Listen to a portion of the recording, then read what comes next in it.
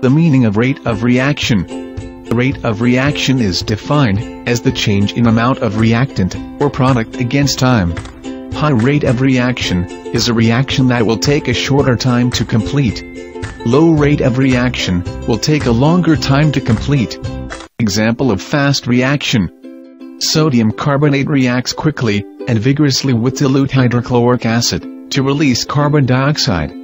Burning of magnesium ribbon in oxygen when sodium chloride solution is added to lead 2 nitrate solution, a white precipitate of lead 2 chloride is formed immediately. Example of slow reaction. When dilute sulfuric acid is added to a solution of sodium thiosulfate, yellow sulfur precipitate is formed slowly.